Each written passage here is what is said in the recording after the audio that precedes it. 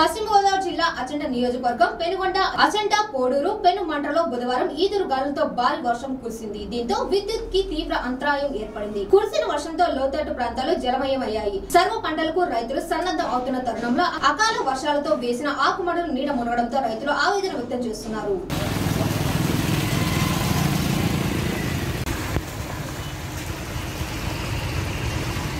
బండి అనవసరంగా పరేపు వాడితే ముగ్గురు ఎక్కరు పోలీసులు అనుకుంటున్నారా